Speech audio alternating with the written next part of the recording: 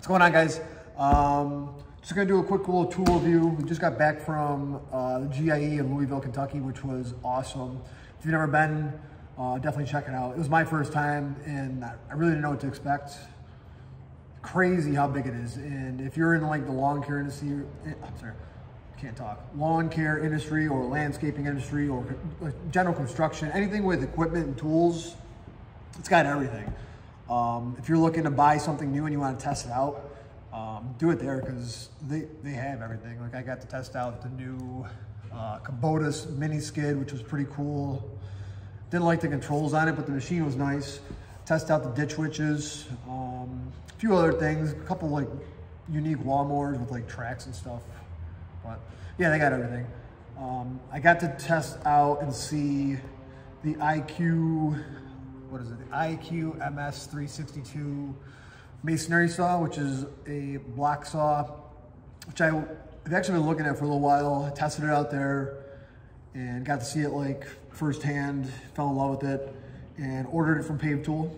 I'm waiting on that to come in, but prior to going to the expo, I ordered this Milwaukee cutoff saw, nine inch cutoff saw. So we're gonna do a quick little unboxing, um, initial thoughts, what I think. We'll test it out with a couple different blocks and see how it actually performs. We have a Stihl saw. I'll show you what it looks like actually right now. Because I got this Stihl saw marketplace for like 200 bucks. Good deal. It worked for a little while. And then all of a sudden the pull cord wouldn't pull. I thought it was uh, the pull cord assembly, so I went and bought a whole new one. Still wouldn't pull. So I had ordered a, an engine rebuild kit and I started taking it apart like six months ago. And this is kind of where we're at right now. Everything's in pieces.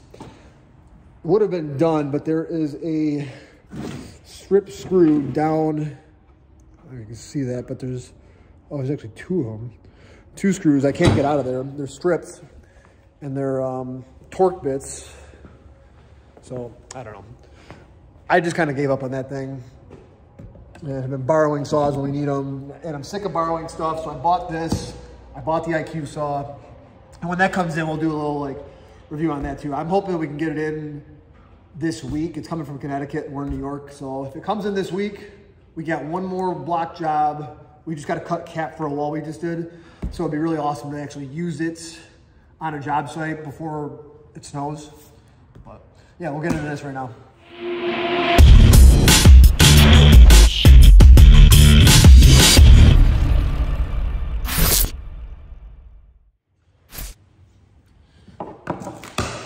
So I bought the kit. It's uh, the saw comes with a blade. It comes with a Milwaukee Rapid Charger, which I think they're like 40 or 50 bucks each. They might even be more now, I don't even know.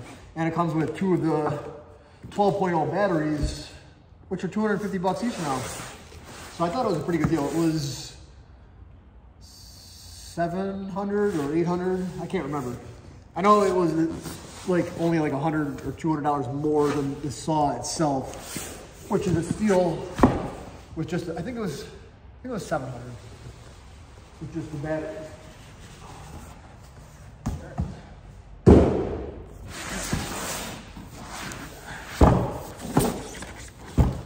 Oh, and it's got the one key too, so you can shut this tool off. If someone steals it, you can uh, like GPS track it, I think. It, it all hooks up to an app nine inch blade, 50% lighter than gas. I think the saw itself weighs 10 pounds and our Stihl saw, weight, saw weighs like 22 pounds. So I'm sure it's a little bit heavier with the battery on. Oh, so it comes with a diamond blade and an abrasive blade, which is a metal cutoff blade. Yeah. Let's check this thing out. I, and I watched a lot of review videos before I buy anything and the reviews on this thing were so 50-50. And they, all the negative reviews were about the battery life. How short it is, how fast this thing overheats. Um, I think if you're buying this saw, it probably shouldn't be for like con consistently cutting. Like you're not gonna, if you're a concrete guy, you probably shouldn't buy this saw. You should probably buy a designated, like, I don't know, walk behind cutoff saw. Not a battery powered saw. Uh, we, we're gonna use this for like small cuts, cutting block and. Uh, we got our blades. Diamond blade, looks pretty solid. Uh, abrasive blade. Some metal cut up. We probably won't be cutting any metal with this. At least I don't think, but we'll hang on to it.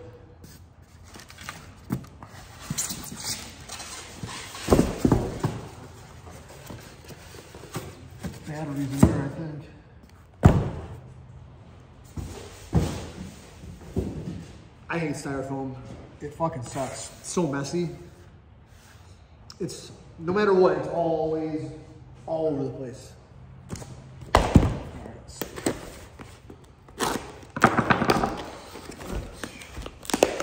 We got a 12.0 battery. Let's see if there's any battery life on it. You wanna get it?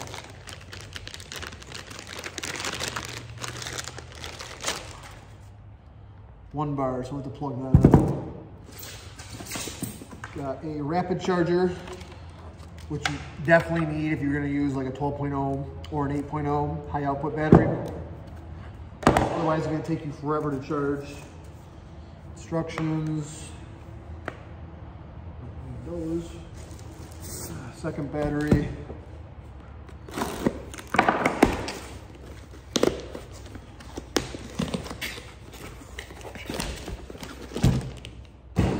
These are heavy. These are probably, I mean, if I had to guess, four or five pounds each.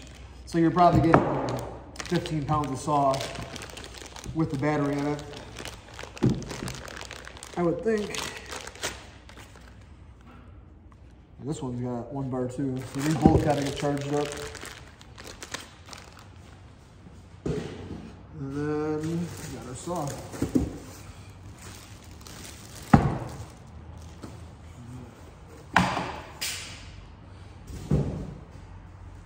Saw, and then we got a, looks like the connection for the hose here. We're gonna put a hose on there.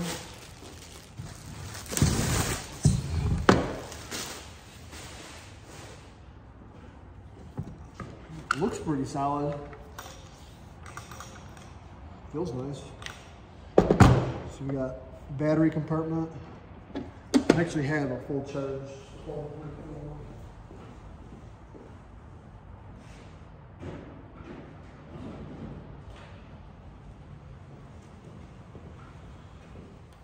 One of the reasons I wanted this too was because we are already Milwaukee friendly here. Already have 12.0 batteries. That's kind of cool. It locks right in. And then you got a gasket around here to seal it so you don't get any water in there. I'll put the blade on first. Yeah, it looks pretty nice though. You got a safety up here, so you can't pull your trigger without flipping this. I can get it in there. There's a little switch right there. So you gotta be able to flip that switch to use a blade, which is nice.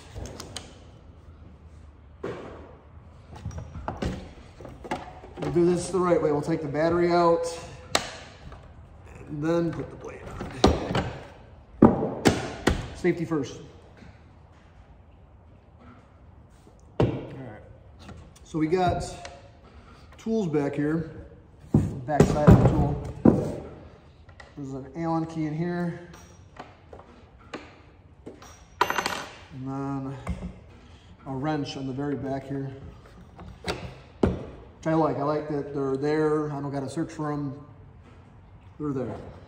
So, what you got to do is stick your Allen key in this little hole right here to lock this.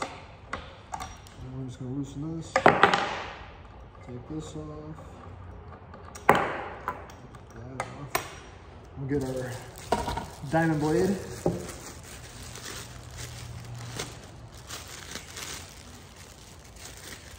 Now, I already watched like a thousand videos on this saw, so I kind of know how to set it up. I believe this little gold piece got to come out like that. So that comes out of there, and then we can lock on this nice and tight. Put this guy back in. And then this pretty easy setup. Tighten it up. Put our tools away. So don't lose those. Yeah, I like that. Otherwise, I'd be searching everywhere for this little wrench. We got our hose assembly, so it just pops on there. Hmm. See, that feels, I don't know. Oh, there, okay. It's got to click on. First, it felt like very loose, and it's like uh, like an air compressor, how it goes on kind of too. You just got to seat it in there good. Then you can hook your hose up.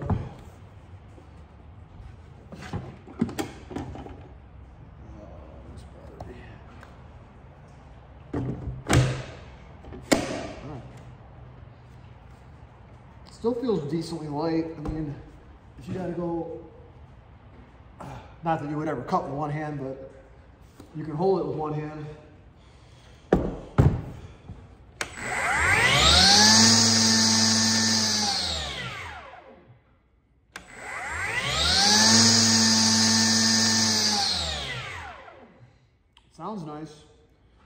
The like greatest stopping speed, but it seems to stop pretty decent.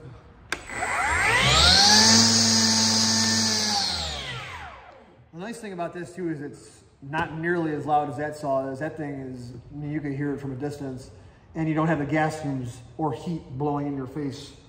Um, so I don't know, we'll go test it out. I got a, I'll have to measure them, like one inch block, a four inch block, and what else do I got? I got a couple different size blocks we can test them out on, see how it does. We'll hook the hose up to it and yeah, we'll get a test run, see what, see what it does, see how it holds up. And this with full battery too. All right guys, we got the saw out. Um, do a couple test cuts with it, see how it does. We've got a couple different blocks. So I've got these three, two blocks and then an actual um, like retaining wall block. So our first one, see, we got uh, inch and three quarter. This camera's not focusing good. This one is just under four inches, three and a quarter. And then our big guy here, we are eight inches. So I don't think we're gonna make it all the way through with this one. We'll probably have to cut a little bit, flip it and cut the rest, but we'll see how it does.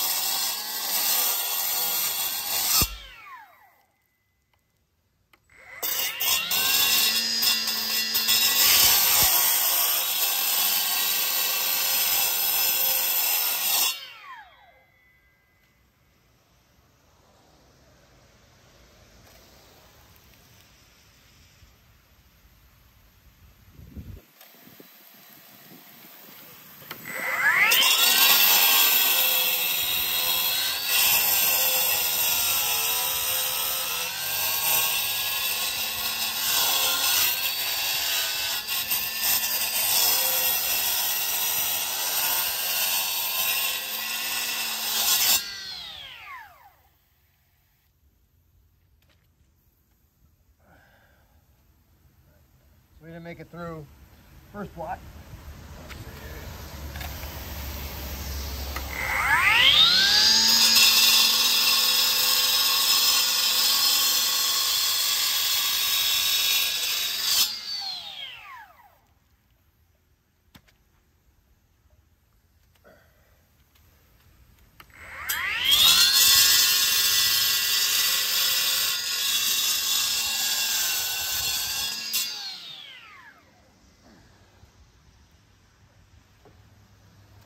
Through. Just got to turn it a couple times.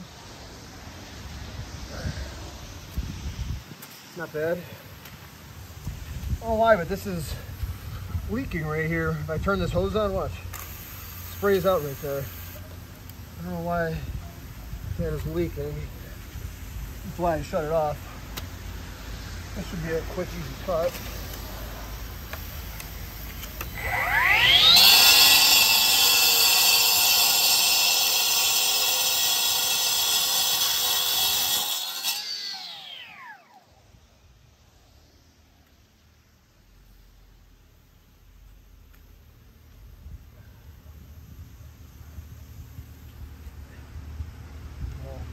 That one was obviously easy. We'll try this bigger block, the eight inch block. We'll cut through this, this side first.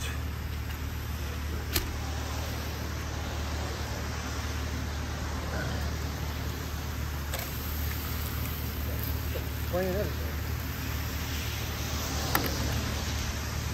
I think my hose is leaking.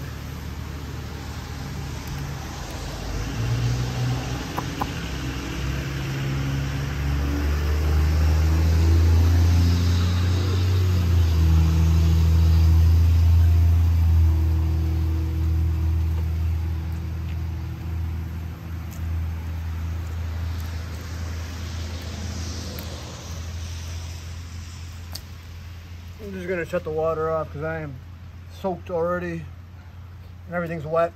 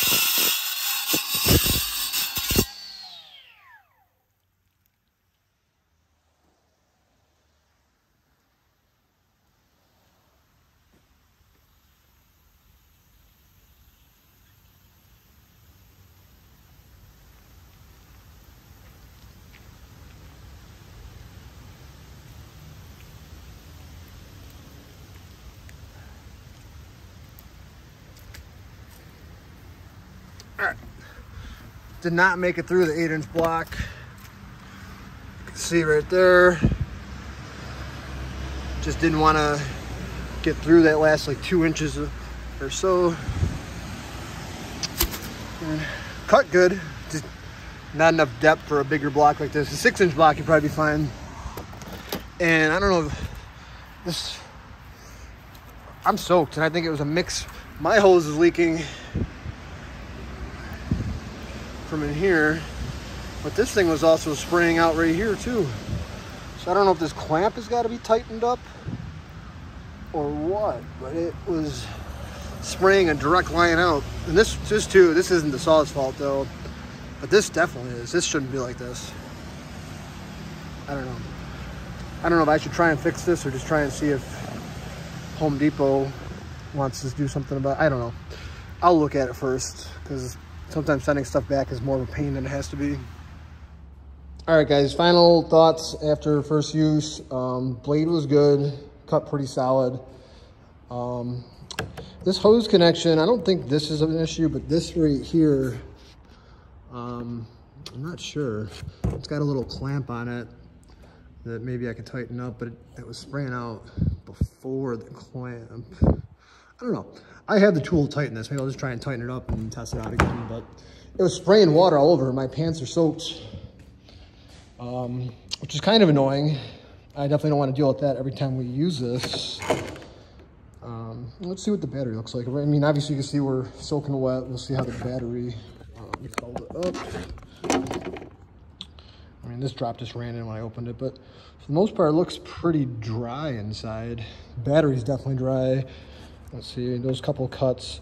I mean, those three cuts right there were three bars, or took one bar off alone. So I can't imagine this really lasting more than four or five, maybe six cuts which kind of sucks because, I mean, if you're doing a lot of cutting, you got to have multiple batteries, which, I mean, we got three 12.0s, so we can rotate them, but they take a while to charge. They're not going to charge super fast.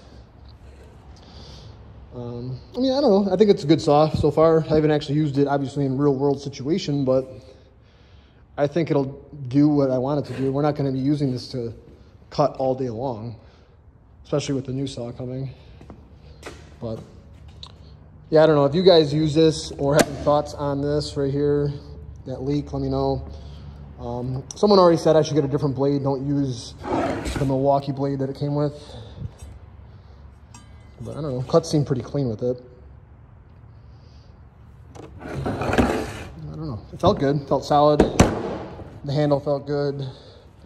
This grip's really nice. Nice rubber grip on it But yeah, let me know your thoughts. Um, if anybody else uses this or what you guys think about it, or if you have any ideas, shoot them along. And thank you as always.